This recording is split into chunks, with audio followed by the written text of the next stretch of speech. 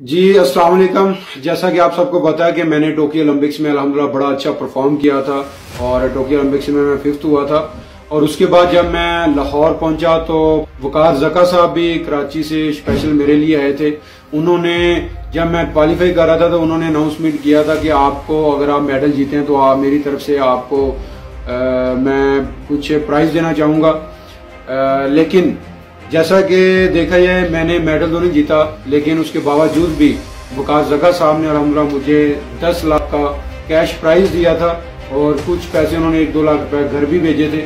मैं वकार जका साहब को शुक्रिया करना चाहता हूँ कि उन्होंने मेरे साथ मेरी हौसला अफजाई की और आज उसका रिज़ल्ट ये है कि मैंने कॉमनवेल्थ गेम्स में अलहमदिल्ला गोल्ड जीता है और कॉमनवेल्थ गेम्स का न्यू रिकॉर्ड किया है। तो ये वकार जका साहब का मैं शुक्रिया अदा करता हूँ, जिन्होंने अपना वादा किया था और वादा नहीं पाया उसका रिज़ल्ट आप सबके सामने। है